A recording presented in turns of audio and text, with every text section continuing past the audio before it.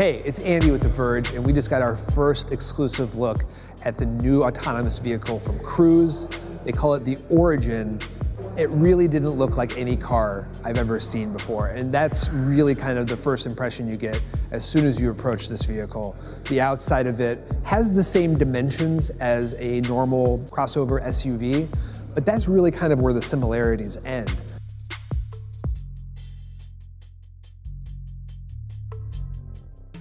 So when you want to get into the vehicle, you first have to put in a code on this keypad that's on the door on the outside, and it sort of opens as if like it's a minivan that opens from both sides.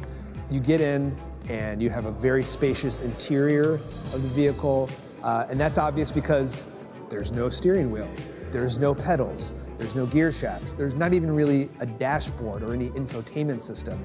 Uh, there's just two bench seats facing each other in this sort of vast space in between them. It's, it's designed to be comfortable if it's shared, but if it's just you, you got so much space in here, you can really like stretch out and it's it's pretty great. Um, and so I think it's a good experience whether it's just you or, or a lot of other you do people. yoga in here, probably. Absolutely, you could do yoga. Well, as long as your seatbelt's on. I don't know how that works. Now, you may have heard of some other self-driving operators like Waymo, which used to be part of Google, and Argo, which is backed by Ford and Volkswagen. Cruise is tied very closely to GM, General Motors, which is the largest auto manufacturer in the US. Cruise has 160 self-driving test vehicles that are Chevy Bolts electric vehicles here in San Francisco, where they hope to eventually launch a fully driverless robo-taxi service. But more importantly, they've raised about $7 billion in venture capital cash over the last couple of years, which is really just like a staggering amount of money for a self-driving car company especially when you consider that they haven't even scaled a commercial product yet. Now, about 2.7 billion of that is coming from the other big auto manufacturer in Cruise's corner, and that's Honda. This doesn't look like any other car on the road today, and that's because Cruise says it wants to move beyond the car, arguing that many of the problems that we have today can be traced to single occupancy vehicles.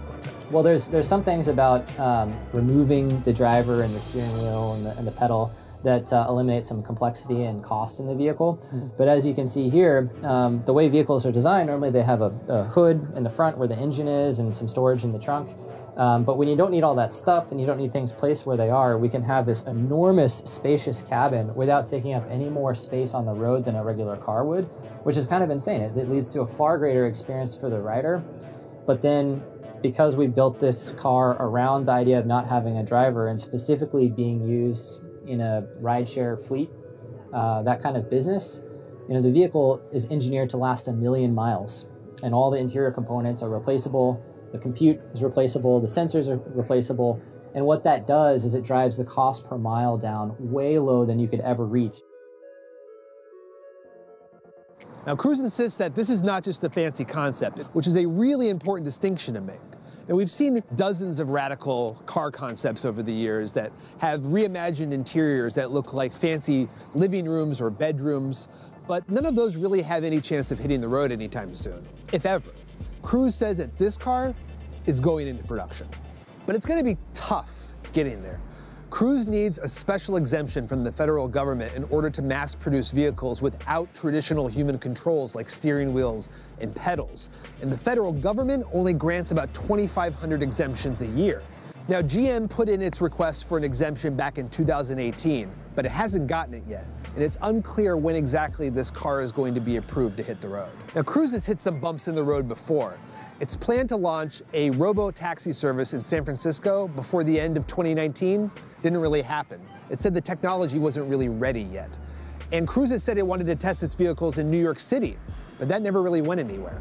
Now, I think it's safe to say that Cruise is feeling the heat from its competitors like Uber and Tesla, Waymo and Ford. Now, the Google self-driving car project recently started giving people rides in its self-driving Chrysler Pacifica minivans with no safety driver in the front seat, which is a pretty enormous leap. But the vans still have steering wheels and pedals.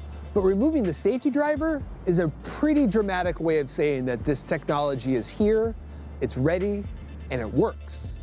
Cruise missed its chance to be the first to launch a taxi service, and it missed its chance to be the first to take safety drivers out of the front of the vehicle.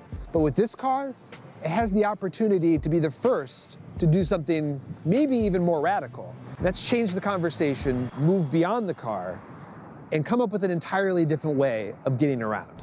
Now, I know I said this wasn't a concept, but if you'd like concepts, check out the videos that we did at CES. There's a lot of really crazy things that we saw this year. Check it out at youtube.com slash The Verge.